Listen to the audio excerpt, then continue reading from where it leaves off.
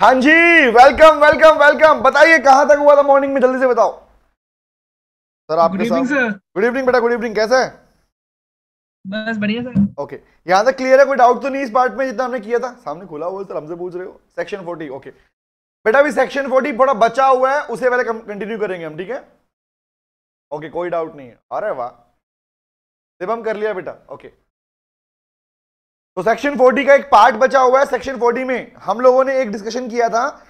That is securities to be dealt on stock exchange उसी part को बढ़ाएँगे थोड़ा आगे और करेंगे बड़ी बातें। चलो स्टार्ट करते हैं। लिसन टू मी लिखना चालू करो। आओ बेटे, आओ। एक छोटू सा प्यारा सा टॉपिक है, लिखो। अंडर राइटिंग कमीशन क्या इसका नाम सुना आप लोगों ने? हाँ। हम जब छोटे छोटे थे तभी हमने इसका नाम सुन लिया था सर। यस हाँ सुना है। यस सर सुने थे सर क्या होता है बताओ tell me sir minimum subscription जब नहीं होता है ना तो उस टाइम मिनिमम सब्सक्रिप्शन करवाने के लिए अंडर राइटर को अपॉइंट किया जाता है। ओके करेक्ट है वेरी गुड लेकिन what is the meaning of minimum subscription क्या होता है? Sir ninety percent of share subscribe होना चाहिए कौन से? नाइन्टी कौन से share percent share issued share capital exactly yes बेटा.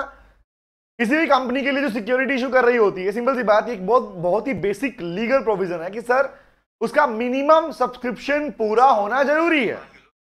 रिमेंबर उसका minimum subscription Nidhi very good बेटे. लाजवाब. बहुत बढ़िया. बहुत बढ़िया, लेकिन निधि वहाँ पे एक प्रोविज़न थोड़ा चेंज आएगा, बताऊँगा कौन सा चेंज है बेटा, ठीक है? सुनो 90% of the issued share capital company की जितनी भी कंपनी ने अपनी कैपिटल इशू की है, उसका 90% अगर सब्सक्राइब नहीं हुआ तो बेटा उसको सारा पैसा रिफंड करना पड़ता है। सारा पैसा रिफंड करना पड़ता है। और अगर टाइमली रिफंड नहीं किया तो उस अमाउंट के ऊपर इंटरेस्ट भी पेमेंट करना पड़ता है। पता है आपको? लेकिन लेकिन लेकिन, उसी पार्ट में कि अगर मान लो किसी कंपनी का अंडर रिटर्न इश्यू रहा दैट इज़ अंडर अगर मान लो उसको अंडर सब्सक्रिप्शन रहा तो अंडर सब्सक्रिप्शन से बना हमारे पास कौन सा? अंडर राइटिंग कमीशन सर ने बताया था, नवनीत सर ने। अरे बेटा, नवनीत सर ज्ञानी है बेटा, क्या बात कर रहा आकांक्षा? हाँ बेटा। नवनीत सर बेटे ज्ञान के भंडार हैं। पता है तुम लोगों को? हाँ पता है हमको। चलो बस, आओ, पढ़ो स्टार्ट करते हैं। लिखो चालू करते हैं। समझाता हूँ कि क्या है इसमें और कैसे इस पार्ट को, कितना पार्ट इसमें याद रखना है। ठीक है, लिखो स्टार्ट करें। ये तो सच है। अरे, मैं बेटा झूठ बोलता ही नहीं हूँ। सब्जेक्ट का नाम लेना है बस, उनको और वो सब बता देंगे। मुझे पता है बेटा। इतना ज्ञान भरा पड़ा है, मैं बता रहा जितना डिस्क्राइब करूँ, उतना कम है। चलो स्टार्ट करते हैं। लिखो इसमें। लिखो बेटा इन केस ऑफ़ लिखना चालू करो. In case of underwritten issue मतलब सिंपल सी बात, अगर शेयर कैपिटल सब्सक्राइब नहीं हो पाई 90 परसेंट भी नहीं हो पाई, वो तो उस इश्यू से बचने के लिए क्या करता है? देखो the person the person who undertakes the person who undertakes to subscribe लिखते रहो, समझाऊँगा। टू सब्सक्राइब द सिक्योरिटीज कौन सी वाली लिखो? इश्यूड बाय द कंपनी तो कंपनी ने इशू की थी, अगर वो पूरी तरह सब्सक्रिप सब्सक्राइब नहीं हुई, उसका मिनिमम सब्सक्रिप्शन पूरा नहीं हुआ। हाँ सर, ऐसा कोई सब्जेक्ट नहीं जिसपे वो थोड़ा भी एक्सप्लेन अरे बेटे आकांक्षा, मैंने कहा ना, क्या नहीं है बेटे? मेरे बड़े भैया और मेरे ज्ञानी है वो यस हाँ मैं उन्हें बड़ा भाई मानता हूँ एग्जैक्टली बोलता भी हूँ। चलिए तो क्या बोला? अंडर रिटर्न इश्यू वाले पार्ट में अगर जो person who undertakes to subscribe the securities issued by the company उस पर्सन को क्या कहा जाता है? बताना। क्या बोलते हैं? Such person is termed as very good. अरे वाह अंडर राइटर उसी को बोलते हैं अंडर राइटर अब उसी अंडर राइटर के बारे में थोड़ा जानने वाले एक्स्ट्रा इंफॉर्मेशन जो प्रोविज़न है लो के। ओके तो लिखो बेटा, ये था मीनिंग कौन होता है? अंडर राइटर ओके अब आता है पॉइंट इसके अंदर, लिखो, एक लाइन लिखो। पेमेंट किस मोड में होती है? मोड पूछ रहा है। लिखो। The payment of underwriting commission क्योंकि कमीशन लेता है। बेसिकली कौन होता है वह जानते हो कौन होते हैं मेनली खासकर मर्चेंट बैंकर्स जो बैंक वगैरह होते हैं, वो ये रोल प्ले करते हैं। द पेमेंट ऑफ़ अंडर हालाँकि और भी कोई हो सकता है, ऐसा कुछ नहीं कि बैंक ही होगा हमेशा। In payment of underwriting commission may be made in absolute और कंडीशनल मोड ये याद रखना। भैया, दोनों मोड में एब्सोल्यूट या फिर कंडीशनल मोड इसका मतलब क्या होता है? हो सकता है कि आपने अंडर राइटर को अपॉइंट किया हो तो आप चाहो तो उस पर कंडीशन लगा सकते हो कि देख भाई जब पूरा आराम से सारा पैसा आ जाएगा, तब पेमेंट दूँगा। ये कंडीशन लग सकती है। या फिर एक एब्सोल्यूट पेमेंट कि भैया, जैसे ही सब्सक्रिप्शन पूरा हुआ, आप अपना पैसा लेके चले जाओ। दैट इज़ तो एब्सोल्यूट और अनकंडीशनल मोड दोनों मोड एप्लीकेबल हैं। अंडर राइटर की पेमेंट को लेके। याद रहेगी ये बातें? आगे बढ़ू? डन छोटी सी बात थी। ओके यस आगे आओ। अब लिखो मेन बात इसके बारे में। तो हेडिंग बनाओ। इसी में लिखना है। इसी का पार्ट चल रहा है। लिखो provision for underwriting commission provision for underwriting commission तेरी प्रोविज़न किसी रूल का पार्ट है। हाँ बेटे, ये बात तो हमने पहले ही जान ली थी कि रूल पढ़ेंगे तो रूल नंबर थर्टीन और रूल का मतलब तो तुम जानते हो, क्या होता है रूल का मतलब? Tell me tell me rule का मीनिंग क्या होता है? नीत नहीं बेटा, बस इतना ही लिखा है मैंने अभी, थोड़ी दो बातें बताई हैं जरा लेट नहीं हुआ। ओके बताइए मुझे what do you mean by rule और अमेंडमेंट में फ़र्क क्या होता है? ये बताया था टेल मी अगर मैं लिख रहा हूँ rule I am not writing the word amendment what is the meaning of this particular point here tell me adding of new amendment yes very good कुछ कह रहे हैं मेजर बेटा चेंज का मतलब तो बेटा वो होता है ना amendment Harshita very good exactly एकदम कुछ नया नया ताज़ा ताज़ा फ्रेश फ्रेश मार्केट में आया है। उसे रूल कहा जाता है। एज पर दी कौन सा रूल एक्ट है? लिख लो। The companies rule act 14 the company कहीं कहीं 19 और कहीं कहीं 14 होता है क्या? हाँ बेटा। कहीं कहीं 19 भी होता है ना? हाँ बेटा रूल आते रहते हैं। जिस ईयर में रूल नया इंप्लीमेंट होगा वो ईयर लिखा जाएगा। ओके समझ में आ गया? ठीक है। तो लिखो बेटा क्या कुछ प्रोविज़न रूल वाला ईयर भी याद रखना है। क्या बेटा?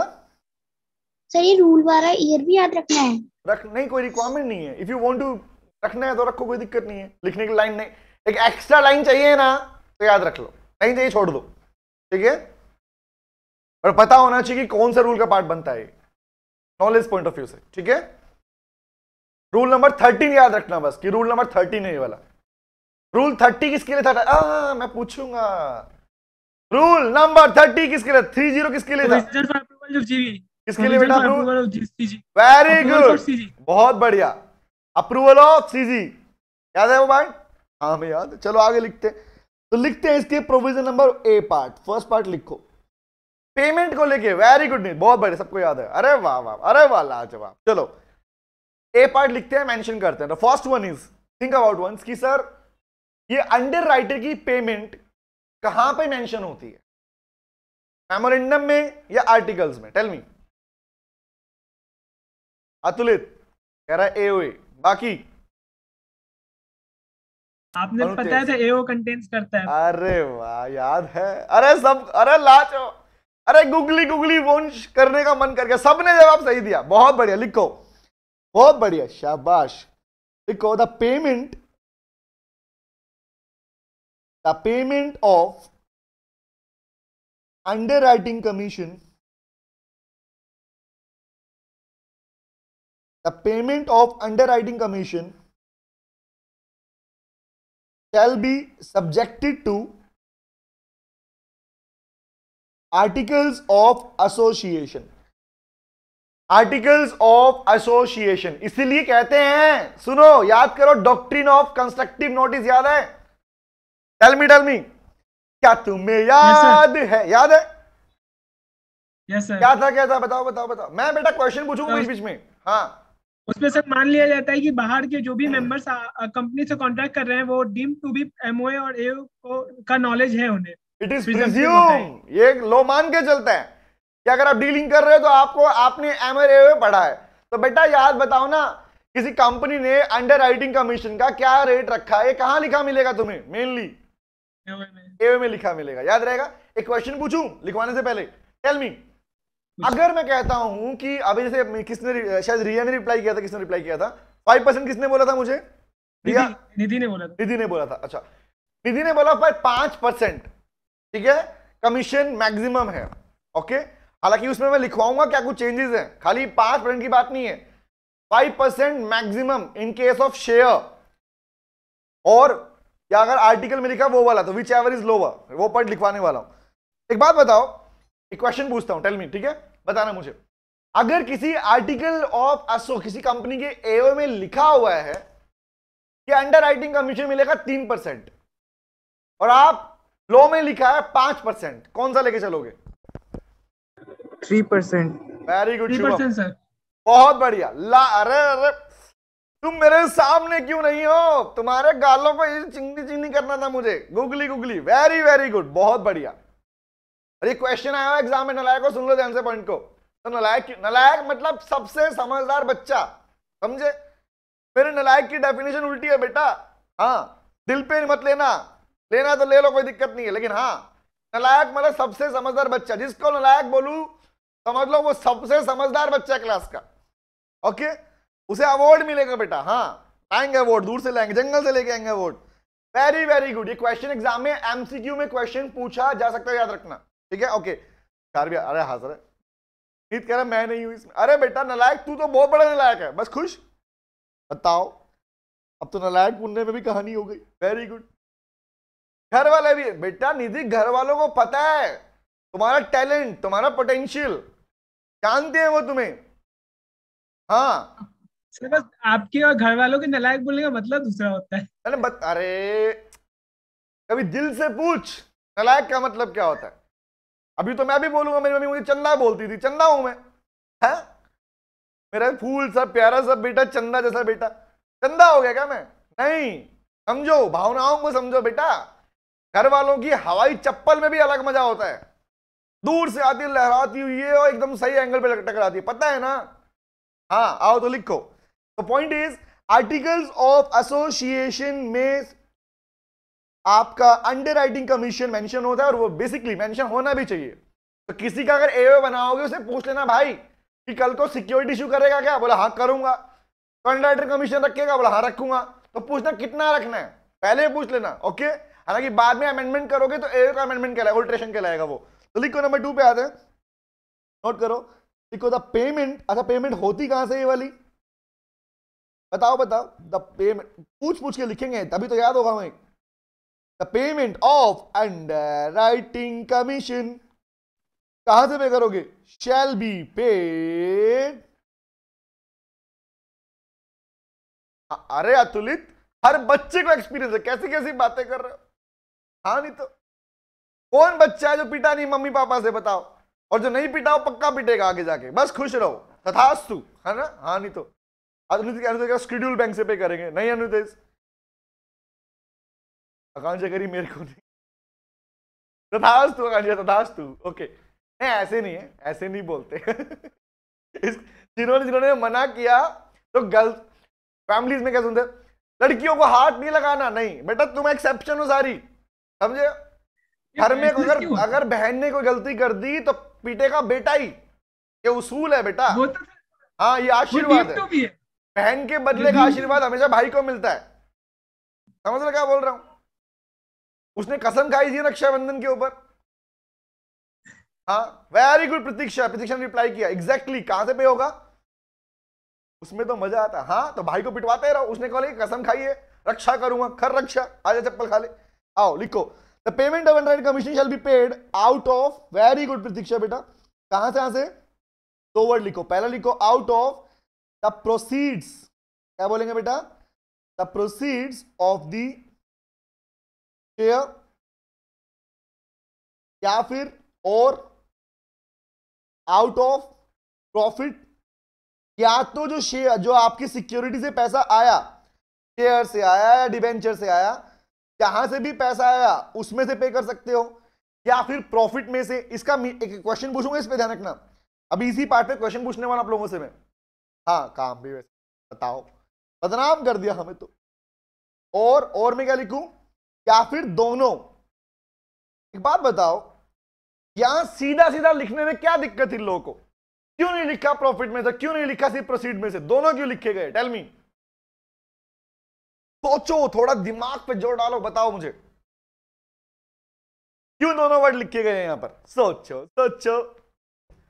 हम नहीं सोच हम नहीं बता। कंपनी अगर लॉस में चली है तो प्रॉफिट से कैसे देगी हाँ।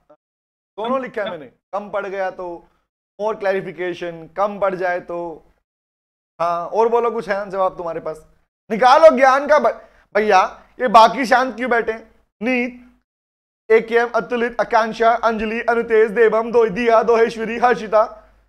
हाँ अगर प्रॉफिट नहीं हुआ तो अगर अगर पहले पे कहा करना हो तो हाँ और मैं अब नाम ले रहा हूँ, बोलते रहो। निधि, पूर्वी, प्रतीक्षा, रिया, साहिल, शुभम, तुषार, बाकी।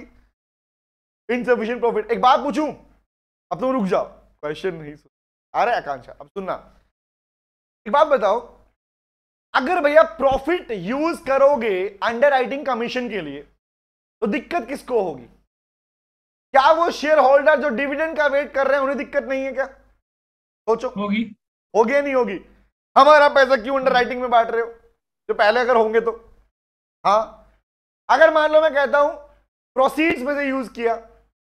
तो भैया सिंपल सी बात जो नए शेयर होल्डर्स हैं जो बनने वाले थे जिन्होंने पैसा दिया था उन्हें दिक्कत नहीं होगी कि हमारे हिस्से का पैसा जो आप प्रोजेक्ट में लगाने वाले थे वो कहाँ लगा रहे हो? प्रॉब्लम होती है नहीं होती? समझ में आया?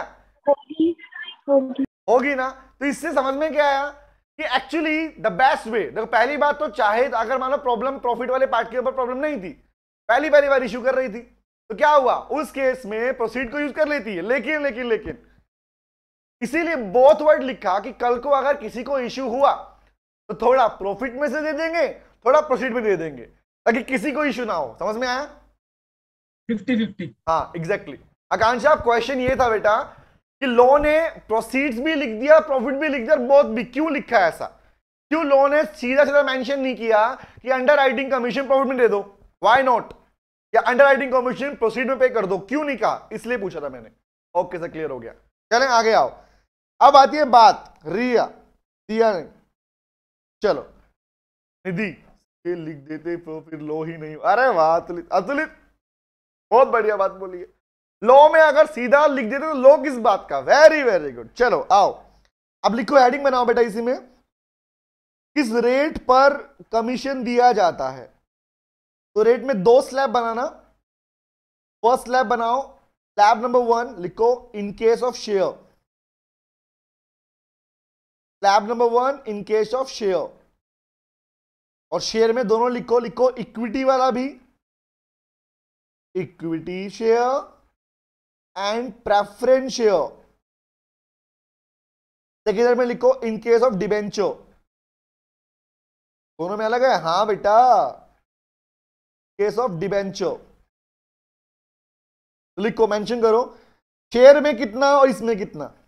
हम बात कर रहे हैं rate of underwriting commission very good Riya बहुत बढ़िया. लाजवाब बेटा. निधि हाँ जी. रिप्लाई किया था पहले. रिया वेरी गुड बेटा. बहुत बढ़िया. लिखो मेंशन करते हैं. फ़र्स्ट लिखो. मेंशन करो, लिखो. Five percent of the price of share और, लिखो rate authorized by rate authorized by articles of association और विच एवर इज़ लोअर अच्छा। इसीलिए हमने रिप्लाई किया था थ्री परसेंट यस मैक्सिमम पाँच या आर्टिकल में जो रेट लिखा वो वाला, उनमें जो भी कम होगा, उसको लेके चला जाता है। That will be the final rate of underwriting commission on share same as like in this particular point is two point five percent debenture के केस में ढाई परसेंट से ऊपर नहीं होगा. Two point five percent of the price of debenture the price of debenture और same line या जो रेट ए में लिखा हुआ था रेट ऑथोराइज्ड ऑफ़ एसोसिएशन और whichever is lower whichever is lower जो टेबल बनाई है इस टेबल के ऊपर बेटा एमसीक्यू क्वेश्चन बन सकता है याद रखना। ठीक है? ओके हम याद रखें। चलो। सर हाँ बोल। सर अगर ऐसा कभी हो सकता है कि जो प्रिस्क्राइब रेट है पाँच परसेंट उससे ज़्यादा पे किया जाए? नो नहीं हो सकता। करना है कर दो तुम लेकिन कल को मान लो अगर लीगल एक्शन बना के हमारा पैसा दिलवाओ कौन देगा? दूसरा पार्ट और सुन। अगर तूने पे किया कहाँ दिखाएगा? बेटा कम एक बात बता जो पेमेंट नॉर्मली दिया जाता है कंपनी कॉस्ट कम से कम होनी चाहिए ज़्यादा ज़्यादा ज़्यादा ज़्यादा होनी चाहिए? टेल मी ज़्यादा कॉस्ट होनी चाहिए कम कॉस्ट होनी चाहिए? कम कॉस्ट होनी चाहिए। समझ में आया लॉजिक तो कौन पागल होगा जो बोलेगा नहीं पाँच मांग रहे हैं मैं बीस दूँगा। इज़ इट सो पैसा तुम्हारा था? Is it so share issue के पैसा तुम्हारा है? कंपनी का पैसा है वो? इज़ इट सो नहीं। समझ में आया किसका है? चिल्लाएँगे बेटा गली में खड़े हो जाएँगे। समझ में आ रहा क्या बोल रहा हूँ? हाँ नहीं तो गली गली तू शो कलेश करवाया कंपनी के अंदर।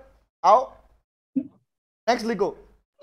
लोअर वाली लिमिट ही फॉलो होती होगी यस ना? लोअर ही फॉलो करेंगे बेटा। इसलिए लिखा मैंने और विच एवर इज़ लोअर दोनों केस में लोअर फॉलो करते हैं। ठीक है? ओके चलो। आगे आओ नेक्स्ट पे लिखो। लिखो। नेक्स्ट लिखो द अंडर राइटिंग कमीशन या अंडर राइटिंग एग्रीमेंट सर ये कौन सा पॉइंट आप लिखा रहे हैं डेट का सी या पार्ट फिर बेटा सी इसके बाद रेट वाले के बाद से पॉइंट लिखवा रहा हूँ मैं। ठीक है? सी पार्ट लिखो द अंडर राइटिंग एग्रीमेंट जब भाई करोगे तो एग्रीमेंट बनाओगे नहीं बनाओगे? बनाना पड़ेगा। द अंडर राइटिंग एग्रीमेंट या लिखो कॉपी ऑफ़ अंडर सॉरी इसमें लिखो copy the copy of underwriting agreement shall be filed with the registrar ये भी रजिस्ट्रार के पास सबमिट करनी होती है। अंडर राइटिंग तुमने क्या क्या बातें की हैं? रजिस्ट्रार देखो कैसे, देखो along with along with copy of prospectus जब प्रोस्पेक्टस की कॉपी सबमिट करते हो, उसी के साथ में लगाई जाता है अंडर राइटिंग एग्रीमेंट भी। याद रहेगा? हाँ। नेक्स्ट बताओ। एक बात बताओ लास्ट लिख रहा हूँ इस पॉइंट में अंडर में। क्या एक क्वेश्चन है मेरा, ठीक है? सबमिट करना पड़ा दूसरा, ठीक है? ओके माय पॉइंट इज़ क्या जो आपने एग्जांपल के लिए, ज़रूरी थोड़ी कि हर एक कंपनी अपनी सारी सिक्योरिटी को इश्यू करेगी? No no. कुछ कंपनी पार्ट में करती है कि ट्वेंटी परसेंट करेंगे। Example company wants to issue sixty percent of the share capital उसका मूड है साठ परसेंट एक बार में करना ही नहीं है। The company wants 20%, 20%, 20%. Please tell me, क्या जो सिक्योरिटी इश्यू ही नहीं की? लेकिन आपने एग्रीमेंट किया हुआ था कि हाँ भी जब भी हम करेंगे तो आपको अंडर राइटिंग कमीशन देंगे। तो जो सिक्योरिटी पब्लिक को इश्यू ही नहीं की गई तो क्या उस पर अंडर राइटिंग कमीशन देना पड़ता है? नहीं। No no no no no no very very good बहुत बढ़िया। शाबाश। लिखो। वेरी गुड बेटा। लिखो। There is no requirement is no requirement किस चीज़ के लिखो? टू पे the underwriting commission pay the underwriting commission कोई रिक्वायरमेंट नहीं है अंडर राइटिंग कमीशन देने की। किस पे? ऑन द सिक्योरिटीज उन सिक्योरिटीज के ऊपर। बेशक शेयर थे लेकिन इशू नहीं किए। सिक्योरिटीज कौन सी वाली लिखो? Which is not offered to public इसके लिए? फॉर सब्सक्रिप्शन जो आपने इशू ही नहीं किया पब्लिक को, उस पे अंडर राइटिंग कमीशन नहीं जाएगा, ना जाता है। Is it clear nope nope nope yes no okay समझ में आ गया? Done done done done done done ये था अंडर राइटिंग कमीशन सेक्शन में forty is over now clear हो गया? सिक्योरिटीज वाला और underwriting commission section forty okay हाँ सर हाँ सर क्लियर हो. टकाटक वेरी गुड बहुत बढ़िया है चलो तो बढ़ते हैं अगली टॉपिक की ओर। हेडिंग बनाओ बेटा, लिखो। सेक्शन नंबर 26 पढ़ा रहा हूँ मैं। मैंने रैंडम पढ़ाऊँगा टॉपिक इसके अंदर सीक्वेंस वाइज ठीक है? जो पार्ट साथ में चलेंगे। नेक्स्ट लिखो हेडिंग बनाओ। लिखो legal rules the legal rules for prospectus the legal rules for prospectus sir commission तो उतने पे मिलेगा ना जितना अंडरटेक करेंगे राइटर निधि ऑब्वियस लेकिन एक बात बता सिक्योरिटी पे बात की थी मैंने। मैंने निधि, मैंने यही तो क्वेश्चन पूछा बेटा। कि अगर कोई कंपनी अपना 60 परसेंट सिक्योरिटी इशू करने वाली है बट पार्ट्स में कर रही है एग्जांपल निधि में क्यों बोल रहा हूँ, बताता हूँ। सुनो ध्यान से बात। सब सुनना बात ध्यान से। निधि हम लोग पढ़ेंगे शेल्फ प्रोस्पेक्टस शेल्फ प्रोस्पेक्टस इसका मैक्सिमम टाइम होता है एक साल। कि एक साल के अंदर अंदर आप पार्ट्स में सिक्योरिटी इशू करने वाले हो। बट आपने अंडर राइटर से पहले ही बात कर ली कि सिक्सटी सिक्सटी परसेंट सिक्योरिटी हम इशू कर रहे हैं। लेकिन आप पार्ट्स में कर रहे हो। तो जैसे जैसे करते रहोगे वैसे वैसे पे करोगे, इकट्ठा पे करोगे। Tell me Nidhi. बोलो बोलो बोलो। क्योंकि तो ये बात तो जानते निधि। ये बात तो जानती है ना बेटा? सुन ध्यान से, निधि। हाँ पार्ट बाय पार्ट निधि से, निधि रिप्लाई चाहिए मुझे। निधि, एक बात बताओ, बाकी सब रिप्लाई करना इस बात पे। निधि, ये बात तो जानती हो ना बेटा आप? कि अंडर राइटर जो बैठे हैं, अगर मान लो, किसी किसी कंपनी का सब्सक्रिप्शन पूरा हो भी गया, तब भी तो कमीशन पे करना पड़ता नहीं पड़ता? क्या बोलोगे, नहीं हमारा तो हो गया, हम तो देंगे नहीं पैसा। समझ में आया? तो हम ये नहीं बोल सकते, खाली ये बोलना काफ़ी इनफ नहीं होगा। कि अंडर राइटर ने अगर किया तो ही होगा, ऐसा नहीं है। अगर आपने एग्रीमेंट कर लिया पेमेंट देना पड़ेगा सिंपल सी बात। यस एग्जैक्टली अपॉइंट क्या, देना पड़ेगा वेरी गुड ठीक है ओके क्लियर हो गया। लिखो legal rule for prospectus section number 26 section number 26 कौन से लीगल रूल्स है? दैट इज़ प्रोविज़न कौन कौन से? आओ लिखते हैं। फ़र्स्ट लिखो, बहुत इजी पार्ट अरे, बहुत, मैं कह रहा हूँ, बहुत इजी हाँ लिखो। फ़र्स्ट लिखो। लिखो एवरी कंपनी लिखो every prospectus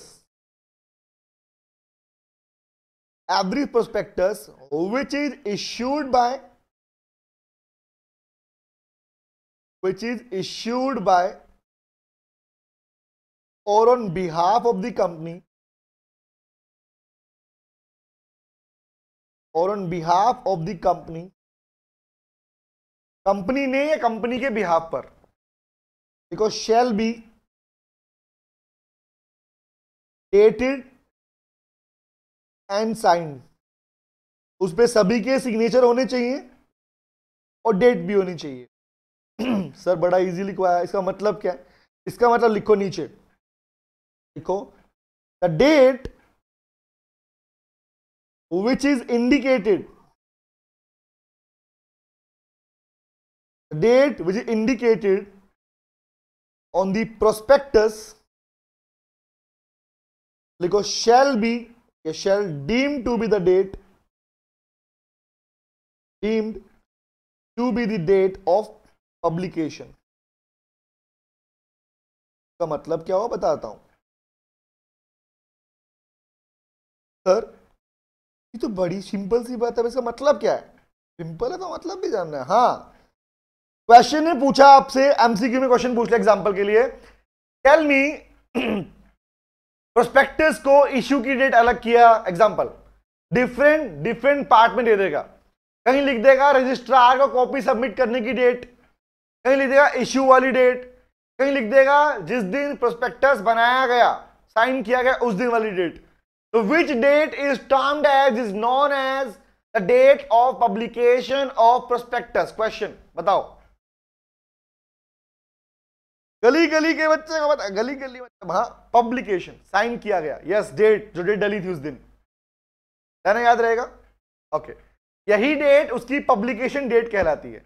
Yes exactly okay number two number two इसी में लिखो B part provision number B ये पार्ट्स नहीं है प्रोविज़न है।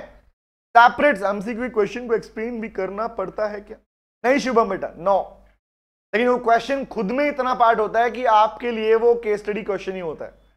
शुभम वो एक प्रॉपर क्वेश्चन होता है जहाँ पर ऐसा नहीं कि एबीसीडी में कोई भी टिक कर दोगे।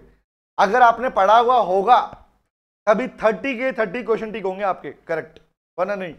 और बेटा वो फ्री फंड के नंबर है अगर पढ़ाई करोगे तभी मिलते हैं वो वाले भी। वरना बच्चे उनमें भी अटक जाते हैं ऐसा भी होता है। उसी तीस पे भरोसा है। हाँ? उसी तीस पे तो भरोसा है सर। अरे मार खाएगा। पूरा करना है सौ का सौ नंबर चाहिए हमको। हमें नहीं भागना तीस के वो लिए। तो है ही सर। हाँ हाँ नहीं तो वो तो है ही सर। कह रहा भरोसा नहीं भरोसा है तुम्हें खुद पे। समझ में आ रहा? नहीं हटकेगा बेटा। जब एक चीज़ को इतनी बार प्रैक्टिस कर लोगे ना एग्ज़ाम भी बोलेगा यार तुम बोल रहे यार बहुत लेट कर। तुम्हारे मन से जब तक ये फीलिंग ना निकले ना ये फीलिंग जब तक ना आए आप लोगों को कौन सी वाली फीलिंग बोल रहा हूँ? कि सर एग्ज़ाम बहुत लेट हो रहे हैं जल्दी क्यों नहीं करवा देते? हमने तैयारी कर ली है हम तो प्रिपेयर हो चुके हैं।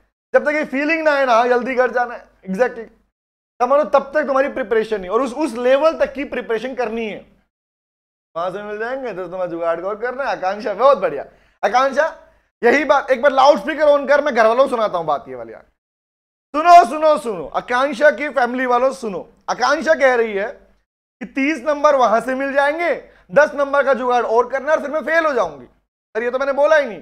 आकांक्षा, चालीस नंबर सिर्फ़ पासिंग के लिए मार खाएगी मुझसे। सोच ध्यान से बात को। अब तुम बोलो। बोलो, लिखो इस बार।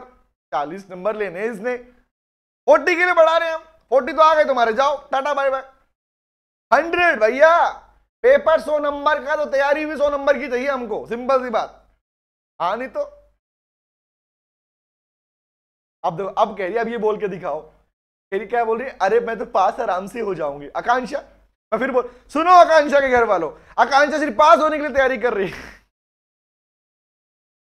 आकांक्षा स्कोर करना है बेटा, पास तो तुम वैसे भी हो जाओगे don't worry I am just kidding मज़ाक कर रहा हूँ आकांक्षा के लिए, कोई दिक्कत नहीं है। ओके अरे सर आओ चलो नेक्स्ट पे आते हैं। तुम्हारा सबसे बड़ा दुश्मन भी मैं हूँ, दोस्त भी मैं ही हूँ, ठीक है? आकांक्षा बोलेगी, जी नहीं ओके नेक्स्ट लिखो बेटा ए हो गया बी पार्ट लिखते हैं। यहाँ पे लिखो, अब बताओ जब प्रोस्पेक्टस बना लिया तो कॉपी सबमिट नहीं करोगे क्या? रजिस्ट्रार के पास। करोगे ना तो लिखो। The copy of prospectus shall be submitted और can इसी को बोलते हैं। Filed with the registrar registrar को कॉपी सबमिट करनी होती है। ऑन और before the date of publication on और before the date of publication simple सी बात सेम डे पे. सॉरी हाँ हम करेंगे वेरी गुड लिखो. ठीक है? ओके चलो, आ गया। इसी में नीचे, इसी बी पार्ट में नीचे लिखना, लिखवाता हूँ। नोट करो। लिखो such prospectus such prospectus shall be signed by, shall be अच्छा अच्छा अंजलि, लो बेटा, अंजलि।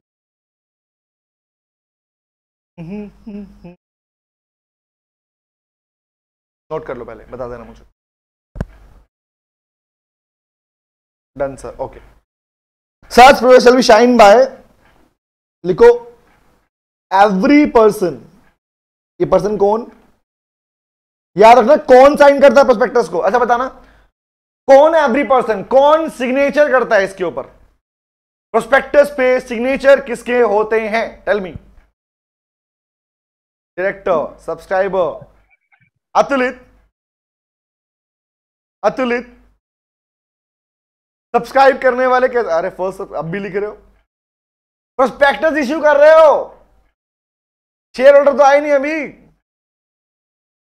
सर फ़र्स्ट सब्सक्राइबर बेटा वो फ़र्स्ट सिग्नेटरी स्टार्टिंग में बनते हैं। हाँ। बट बाद में उनका नाम क्या होता है? फ़र्स्ट सब्सक्राइबर वर्ड हम इनकॉर्पोरेशन से पहले यूज़ करते हैं। याद आया?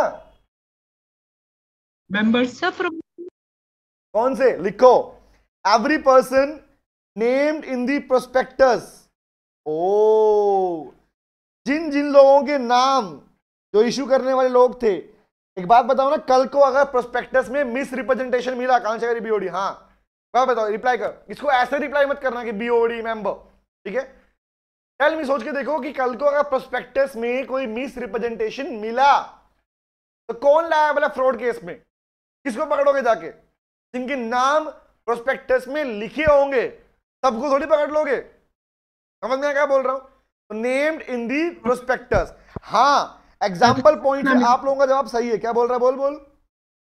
किसका इसका नाम लिखा होता है प्रोस्पेक्टस में? बीओडी मेंबर्स डायरेक्टर्स तो आपने बोला था मुझे।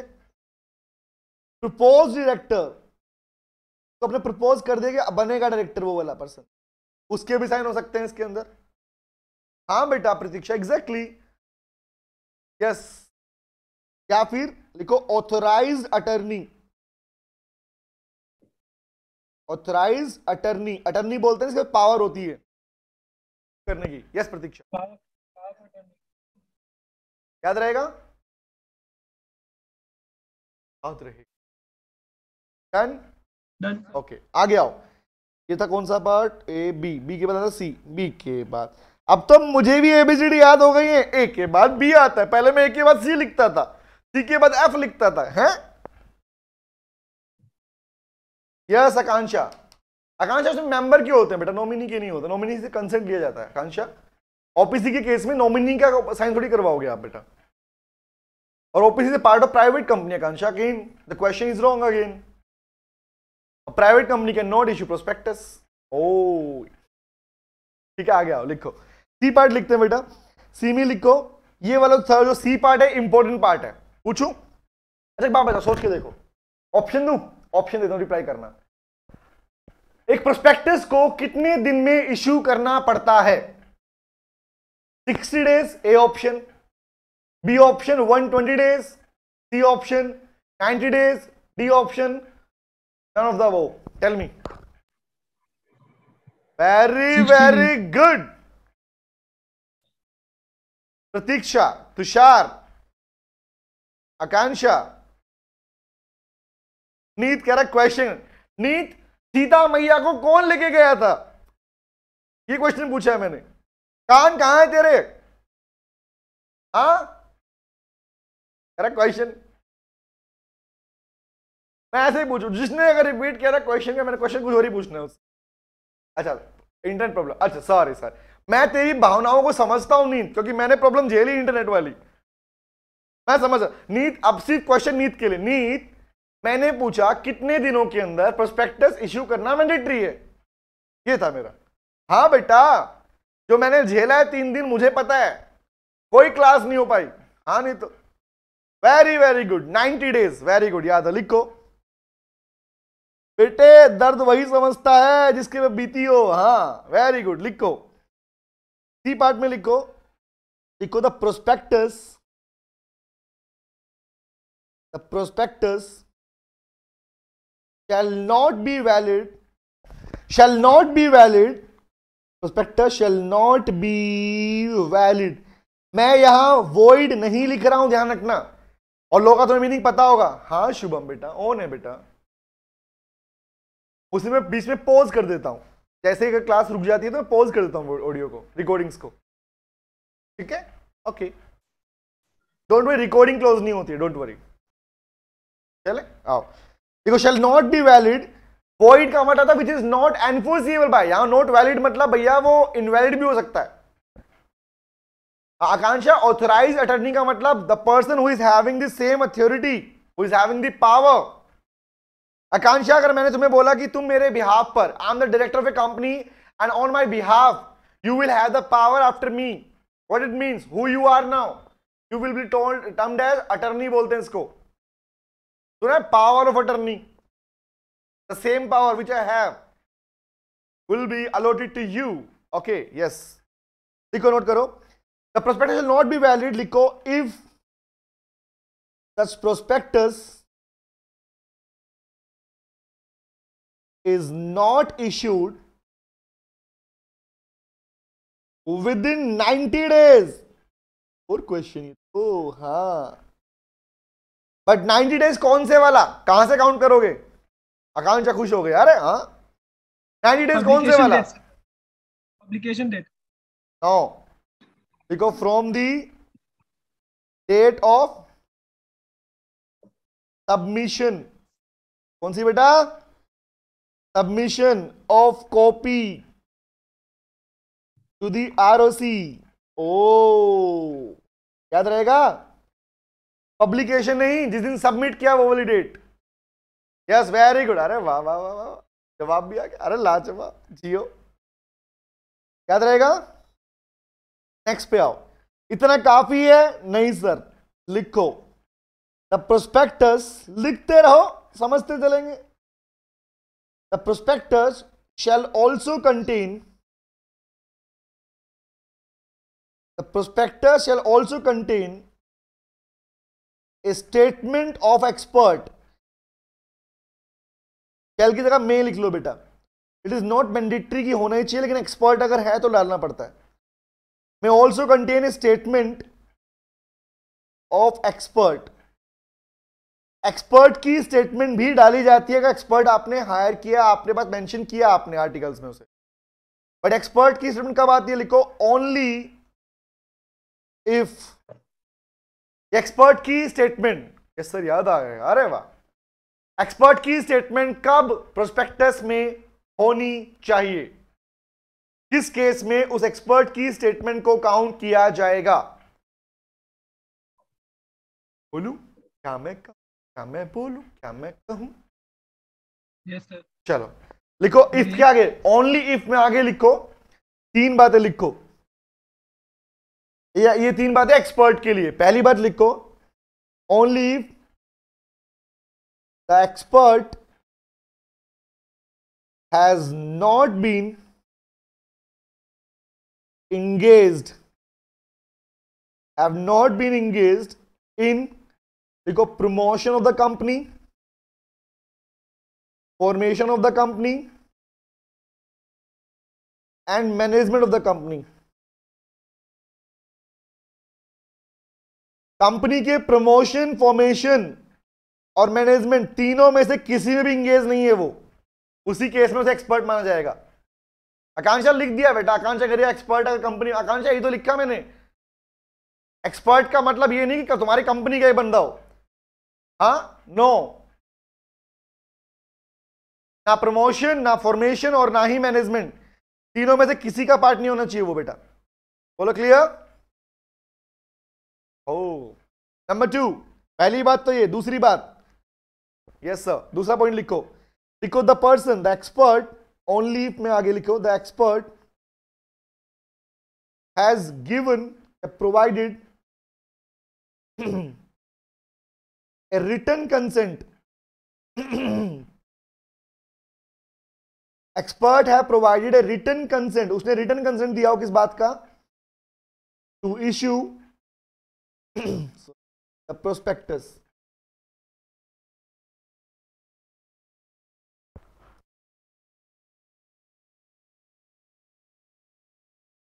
देखो इश्यू प्रोस्पेक्टस कि भैया प्रोस्पेक्टस इश्यू कर सकते हो इस बात के लिए उसने रिटर्न कंसेंट दिया हो। दूसरी बात यहाँ खत्म नहीं होती। बोलता, और लिखो।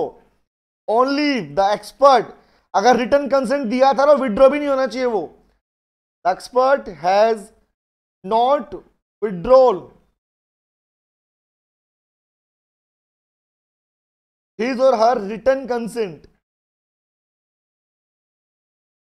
कब? लिखो बिफोर बिफोर क्या लिखूं? The submission of copy submission of copy to the registrar कि भैया, उसने रजिस्ट्रार से कॉपी सबमिट की थी, उससे पहले अपना कंसेंट वापस नहीं लिया था। तीन बातें आएँगी यहाँ पर। एंगेज नहीं होना चाहिए कंसेंट दिया होना चाहिए कंसेंट विड्रॉ नहीं होना चाहिए। तभी वो पर्सन एक्सपर्ट कहलाता है। तो उसके नाम भी यहाँ पे नीचे लिख भी लो। एक्सपर्ट किसे कहा गया लिख लो बेटा।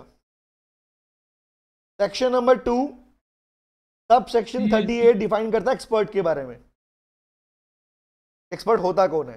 लिखो इसके बारे में। देखो एनी पर्सन कोई भी व्यक्ति हु इज़ ऑथोराइज या who is having the authority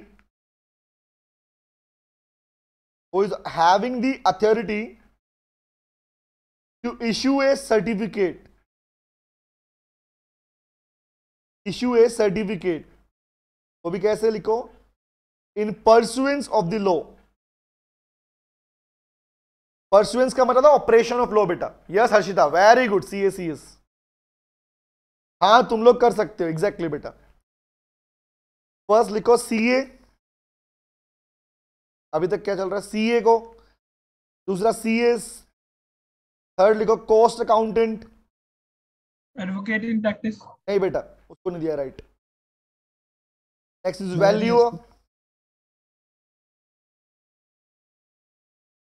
हालाँकि नोटिफाइड है कभी भी हो सकता है वो भी। And next is engineer engineer भी प्रोफेशनली होता है बेटा।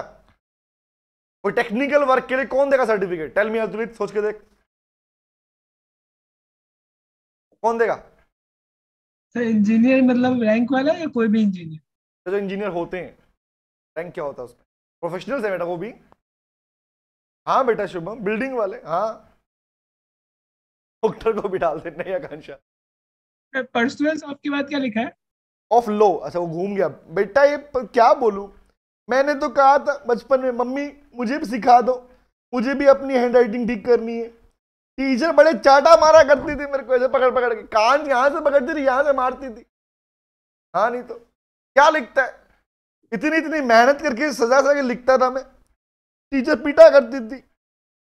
बोलती थी, ऐसा लगा किसी चीटे को इंक में डुबो के छोड़ दिया तूने। ऐसी ऐसी बातें सुनी है मैंने। बचपन से टोंट का सामना करता हुआ आ रहा हूँ मैं। चाटे भी खाए मैंने। तब भी कुछ नहीं। तब भी वही तो तब भी कुछ नहीं हुआ सच में वेरी गुड मन में क्यों बोलता तेरी मन की बातें सुन लेता हूँ अतुलित मैं। हर्षिता कहते सफ़ेद झूठ क्या झूठ झूठ ये कि मैंने चाटे नहीं खाए हर्षिता इज़ इट सो वो तो सर कॉमन है शुभम कह रहा है वो तो मैंने भी सुना है। Very good Shubham. समझ तो आ जाते हैं। चलो अंजलि ने अप्रिशिएट किया। Thank you Anjali. बट बेटा पहले इससे भी खराब थी लगा ले आइडिया अब ये तो बहुत ठीक हो अब आप गई। डायरेक्ट नहीं लिख पाते होंगे। हाँ? पेज पे नहीं लिख पाते होंगे। पेज पे नहीं लिख पाते होंगे हमारे टाइम में था। कहा था? तुम्हें लगता है हमारे टाइम में बोलते आओ जाओ सुनो सुनो लिख के लेके आओ। ऐसा कुछ नहीं था उस टाइम पे।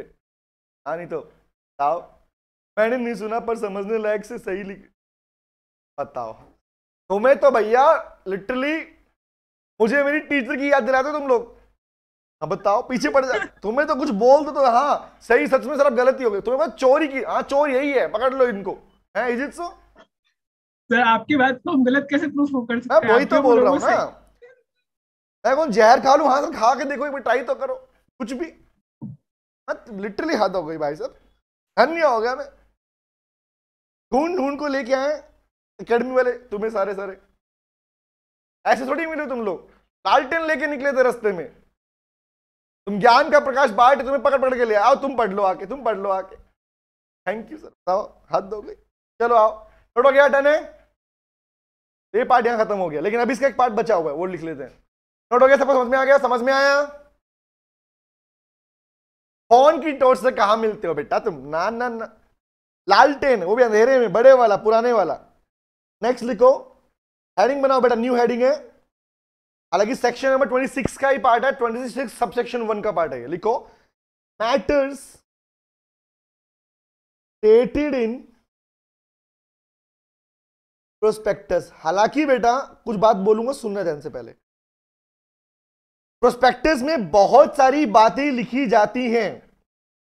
लाइक like इवन ये भी कंपनी को लिखना पड़ता है कि कंपनी उस पैसे को जहाँ लगा रही है, जहाँ इन्वेस्ट कर रही है, वो कहाँ इन्वेस्ट कर रही है। सुन लो ध्यान से बात सुन लो। कंपनी उस पैसे को कहाँ इन्वेस्ट कर रही है? जहाँ इन्वेस्ट कर रही है? उसमें रिस्क क्या है? वो कौन से कौन से टर्म्स हैं कंडीशंस हैं जहाँ वो पैसा डूब भी सकता है? यस एग्जैक्टली एक्सपेक्टेड रिस्क भी मेंशन करना पड़ता है कंपनी को। शुभम को सु, तो सुन। अरे बात तो सुन। अंजलि समझ नहीं आया बेटा नहीं मैं नहीं समझ लालटेन घर गया बेटा। अभी सुन लो पढ़ाई करो। हाँ नहीं तो सुनो। सुनो भाई ध्यान से क्या बोल रहा हूँ मैं। फ्लो मत बिगाड़ो यार रुक जाओ एक, मिनट रुक जाओ फिर बोलना तुम। नॉर्मली बहुत सारी बातें प्रोस्पेक्टस में मेंशन होती है मतलब ऑलमोस्ट कंपनी के बारे में सारी बातें मेंशन होती है। बट कुछ प्रोविज़न ऐसे हैं जिनको डालना मैंडेटरी है। बोला भाई इनको लिखना मैंडेटरी है। Section number 26 sub section one वाला पार्ट है ना? अब ले लालटन था अंजलि। ठीक है? ओके चलो। अब आते हैं पॉइंट के ऊपर। तो वैसे कौन कौन से मैटर्स हैं जो डालने पड़ते हैं? नोट करते हैं। फ़र्स्ट लिखो ए पार्ट ए में लिखो बेटा फाइनेंशियल इंफॉर्मेशन में लिखो financial information and reports financial information financial reports कौन सी वाली लिखो? सारी नहीं, कौन सी? Specified by CG specified by SEBI याद रखना। सेबी बोले था security action board of India specified by SEBI, कैसे लिखो? In consultation with in consultation with CG Anjali, गुस्सा हो गए। क्या अब लालटेन लेके क्यों घूमू मैं? नहीं अंजलि, ऐसे ही बोल रहा हूँ बेटा। हाँ नहीं तो डर लगता है मुझे तुमसे। सॉरी बोलू। नहीं बोल रहा सॉरी में। चलो, आओ। क्या बोला? सेबी ने जो स्पेसिफाई किए वो वाले फाइनेंशियल इंफॉर्मेशन वो भी कौन से? सेबी ने जिन इंफॉर्मेशन के लिए सीजी से कंसल्ट किया हो तो बताओ मेरे लाल बताओ बताओ कौन है सीजी यहाँ पर? किसे तुम कहते हो लो में CG MCA very good MCA very good बहुत बढ़िया। निधि निधि तेरा गला दबा दूँगा बेटा। मैं मर्डर कर दूँगा तेरा बता रहा हूँ। निधि कह रही आरओसी निधि, तलवार निकालू मैं? हैं? दोबारा रिप्लाई कर। किससे? अब से निधि बोल, निधि बता। ना, निधि, हमारी क्लास में सॉरी अलाउड नहीं है निधि। नहीं। अगर हो गया तो हो गया, चलते रहो, बढ़ते रहो। यू आर ऑलवेज करेक्ट समझ लिया करो। वेरी गुड एमसीए हाँ। बेटा, निधि ने जानबूझ के रिप्लाई किया। पता तुम जब, क्या जानते हो? मैं जानता हूँ हाँ। हाँ निधि? है ना हाँ। देख लो, हमको भी याद है। वेरी गुड बेटा। सीजी बोले तो एमसीए हमारा प्यारा मिनिस्ट्री चलो नेक्स्ट पे आते हैं। बी पार्ट तो फ़र्स्ट हो गया, क्या सब सबमिट करना पड़ा? लेकिन मुझे बात बताओ, अगर सेबी ने स्पेसिफाई नहीं किया तो क्या क्या? लिखो देखो if SEBI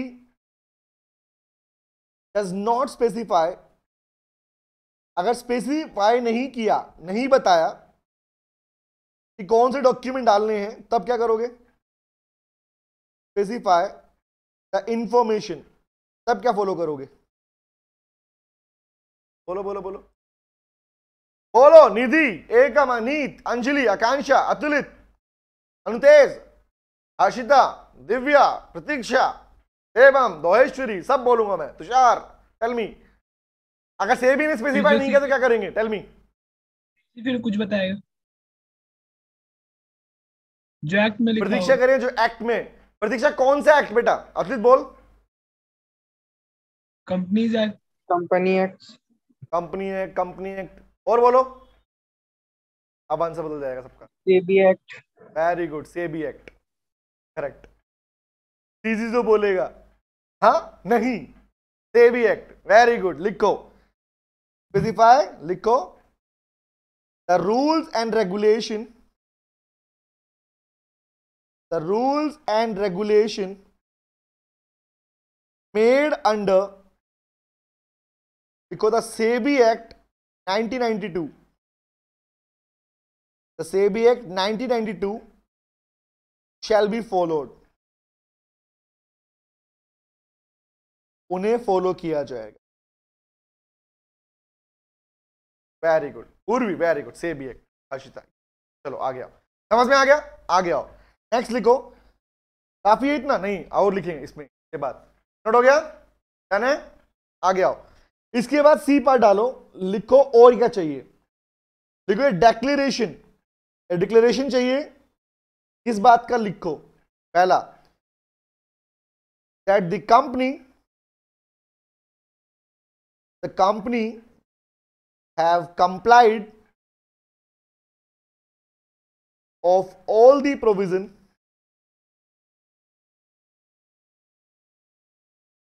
all the provision specified under the Company Act 13 company act 13 में जो भी प्रोविजंस हैं कंपनी ने उन सभी प्रोविज़न को फॉलो किया है। लास्ट स्लाइड तुषार, ये बेटा, देख ले।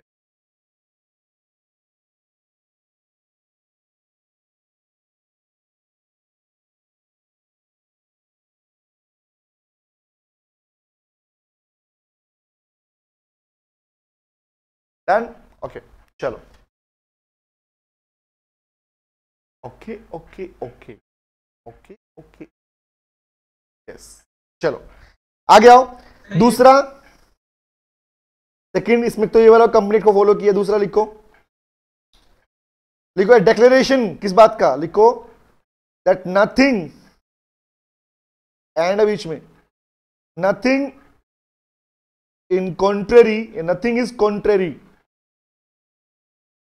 contrary बोले तो opposite contrary to the provision contained, nothing is contrary to the provision contained किसमें लिखो पहला? इन द कंपनी act 13 आपने किसी भी पार्ट को प्रोविज़न को वायलेट नहीं किया कंपनी एक्ट वाले को भी। दूसरा लिखो, सेबी एक्ट। ना सेबी एक्ट को वायलेट किया, और ना ही आपने एक और लिखो third the security contract and regulation act 1956 इन तीनों में से किसी की भी प्रोविज़न को कॉन्ट्रावेंशन नहीं किया आपने। इस बात के बारे में डेक्लेरेशन देना ज़रूरी हो जाता है। ओ, ऐसा? यस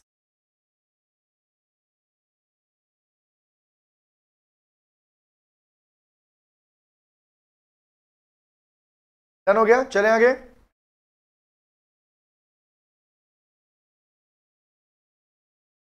बेटा 1956 security contract and regulation act 1956 done है आगे चले। तो ये डिक्लेरेशन देगा कौन? सी सी एस नहीं कंपनी साइड से आएगा बेटा ये। ओके ठीक है? ओके आगे आओ। जो कंपनी इशू कर रही है उसके नाम से। ठीक है बाद डी लिखो डी में लिखो। देखो एवरी प्रोस्पेक्टस शैल कंटेन क्या चीज़ लिखो? ती, दो चीज़ें लिखनी है। पहला लिखो कंटेन ए स्टेटमेंट एक स्टेटमेंट कौन सी स्टेटमेंट लिखो? That the copy of prospectus have been filed that is submitted बोलते हैं इसको। विद द आरओसी क्या आरओसी को कॉपी सबमिट कर चुके हो। दूसरा एन और कौन सा? एन और कौन सा? लिखो एन लिखो list of and list of all the documents attached with the prospectus. वो सारे डॉक्यूमेंट की लिस्ट जो आपने प्रोस्पेक्टस के साथ में अटैच की थी। जो आपने अटैच की थी प्रोस्पेक्टस के साथ। डॉक्यूमेंट की लिस्ट भी सबमिट की जाएगी। याद रहेगा? ये पार्ट बनता है इसका। चले आगे। आओ। इसमें आप हेडिंग लिखो। जो आपने सेक्शन लिखा section number 26 sub section one which is stated the matters stated in prospectus, उसकी हेडिंग लिखो एक्सेप्शन कौन कौन सी है? मतलब वो कौन कौन सी सिचुएशन है जहाँ पर ये सब मेंशन करना नहीं पड़ेगा। सोचो बेटा, क्या हो सकता है? Exception of section 26 sub section one सोचो सोचो। जल्दी से सोचो। बोलो। क्या लगता है कहाँ कहाँ पर इन इंफॉर्मेशन को देने की रिक्वायरमेंट नहीं होती?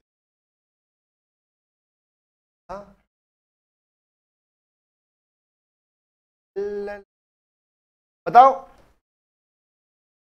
सोच के बताओ, ओ, सोच के बताओ। हम्म हम्म। बोलो बोलो बोलो बोलो। सब चुप हो गए। अरे, चुप काहे हो गए in private company because there not issue okay Shubham, और बोलो। गवर्नमेंट कंपनी में शायद ओके। सर अगर एक ही से एक बार में दो शेयर मतलब दो सिक्योरिटी इशू कर रहे हो तो? और बोलो थोड़ा पास पहुँचा है करेक्ट नहीं हुआ लेकिन। अतुलित। बताओ बताओ बताओ बताओ बताओ। एफपीओ वाले केस में नोटिस कह रहे हैं। May be in section eight company Anjali. Anjali section eight company तो इशू नहीं करती। यूनिफॉर्म शेयर्स अगर इशू किए जाए नाइस वेरी गुड बहुत बढ़िया. In all respect very good एक आंसर मिल गया. सेकंड जवाब दो. बहुत बढ़िया, हर्षिता. वेरी गुड अनुतेज नहीं, बेटा, शेल्फ नहीं है.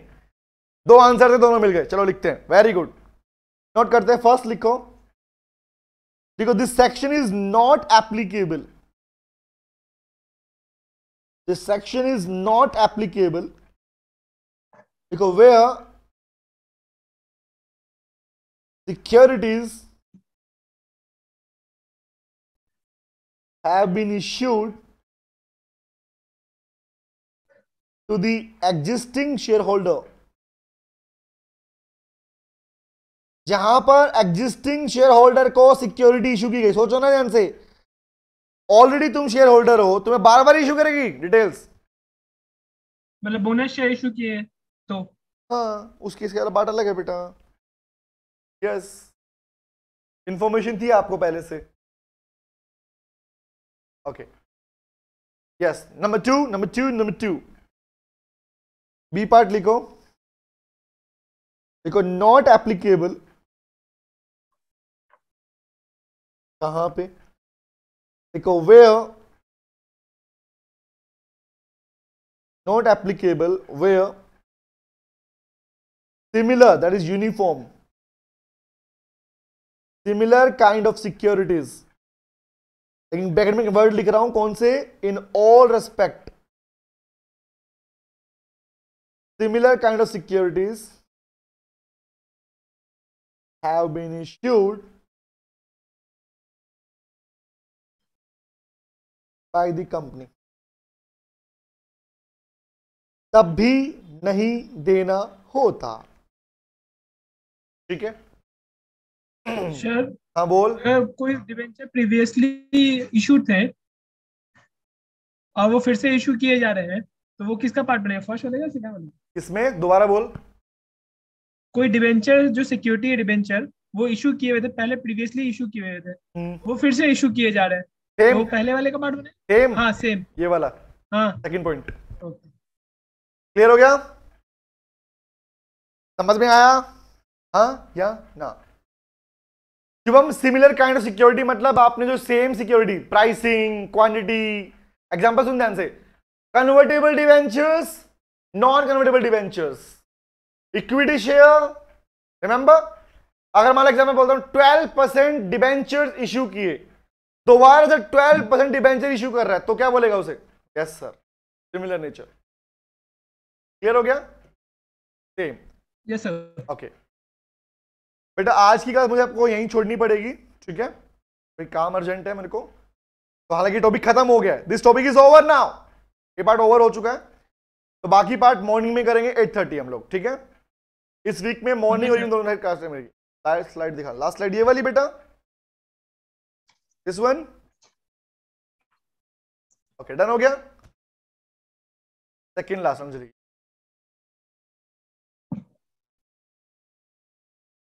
अच्छा एक बात सुनो सारे सारे सुनो सुनो सुनो सुनो। एज क्लासेस को लगातार फॉर्मेट में रखना है इसलिए आप लोगों का टेस्ट मैं टेलीग्राम ग्रुप पे डाल रहा हूँ ठीक है? नहीं तो शायद मॉर्निंग में क्लास हुई थी बेटा एट थर्टी पे। लिंक मिल जाएगा आपको ठीक है? उसका क्लास का ओके टेलीग्राम ग्रुप पे डालूँगा। नाम है टेलीग्राम पे नितिन भारद्वाज क्लासेस के नाम से।